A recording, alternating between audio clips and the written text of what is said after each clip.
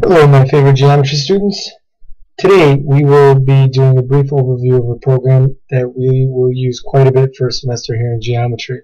The program's called GeoGebra. Just let you know if you want to get more comfortable with it, there is a download. It's free uh, that you can download on your computer at home. Many of the activities we do will be in class, but if you wanted to play around with it or you're absent for one of the activities, you can easily do it at home. Um, so, real quick here. Um, up at the top here, you have all these tabs here. Um, a couple of things that you want to keep in mind when, when you're working on a sketch is in the options one uh, tab, you want the value to be highlighted. And I'll show you what that means in a little bit. Um, pretty much in these tabs, that's all you need to pay attention to. Maybe some of the things you might want to view are in here. You can play around with them as much as you want as soon as you get started. Uh, this toolbar is probably the most important. In this, you have your pointer, which allows you to select and move things. You have your point tool. It allows you to plot as many points as you want. And it names it at the same time as you plot them. It also allows you to sketch all of these other types of points. You have your, in this menu, you have your line segment ray tool. Uh, that'll be very useful in today's activity and a lot of others.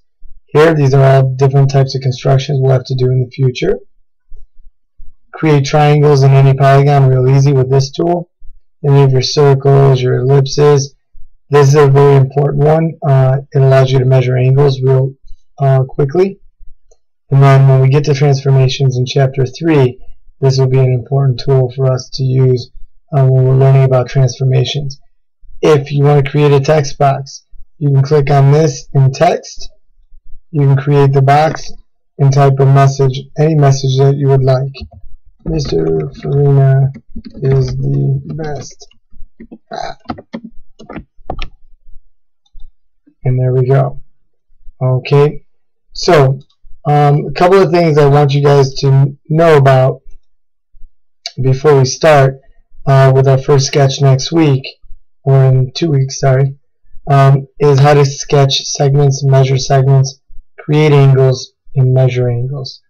Um, so, if we want to create a point, we can just basically plot a point and it names it right there. If I plot a second point, I have the option to do many things. I can construct a line through those two points by clicking on one point on the line and then finishing on the second. Alright, I can also construct a line just by having a line tool selected, move the second point where I'd like it, and left mouse click and good to go. Now, just as easy as it is to create a line, it is easy to create a segment. Now, remember, lines cannot be measured, but segments could.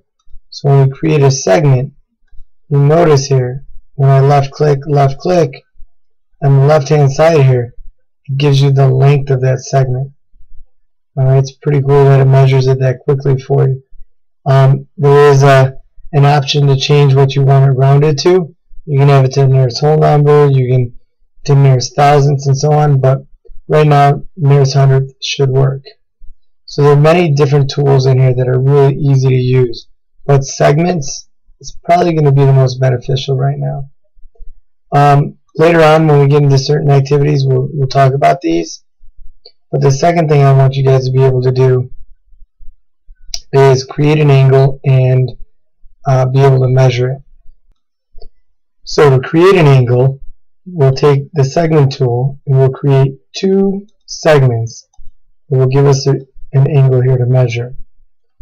Now, to measure this angle here, if you click on the angle tool, there's two ways to measure this inside angle.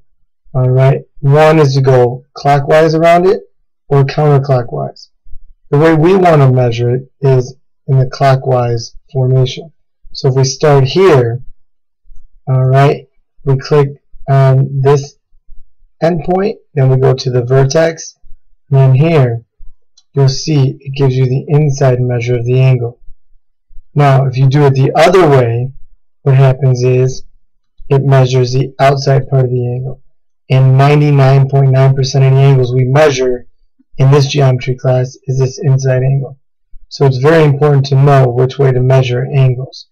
Now, the program's also nice because if I'm on the angle tool, I could just go ahead and notice how if I'm creating an angle, I can get that inside angle by you know messing around with this.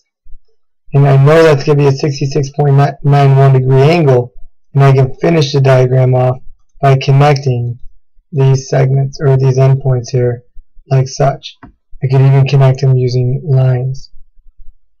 So what I would like you guys to do right now is to construct some diagram, measure some segments on a diagram, measure some angles on a diagram, and then um, attach it somehow in an email or through Canvas that we just learned. I hope you guys will enjoy this program and look forward to doing the activity in the future.